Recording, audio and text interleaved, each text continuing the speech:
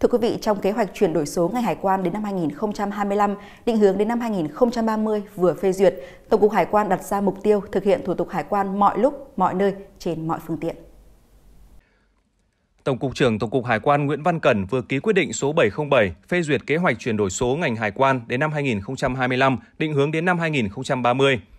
Mục tiêu được ngành hải quan đặt ra là đẩy mạnh chuyển đổi số trong hoạt động nghiệp vụ hải quan một cách toàn diện, đồng bộ với chuyển đổi số, phục vụ doanh nghiệp xuất nhập khẩu và các bộ ngành trong triển khai cơ chế một cửa quốc gia và cơ chế một cửa ASEAN nhằm hoàn thành mục tiêu 100% thủ tục hải quan được thực hiện hoàn toàn trên môi trường mạng.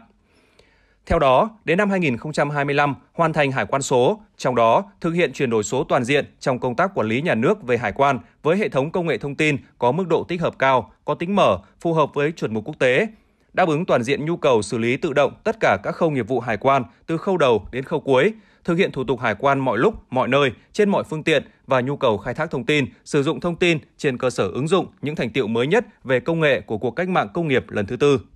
Cùng với đó, các lĩnh vực nghiệp vụ được tích hợp, liên thông, tự động hóa mức độ cao, đẩy mạnh kiểm tra trước và sau thông quan, giảm tỷ lệ kiểm tra trong quá trình làm thủ tục hải quan. Ứng dụng khoa học công nghệ của cuộc cách mạng công nghiệp lần thứ tư với các trang thiết bị hiện đại nhằm giảm thiểu can thiệp của con người trong quá trình thông quan hàng hóa.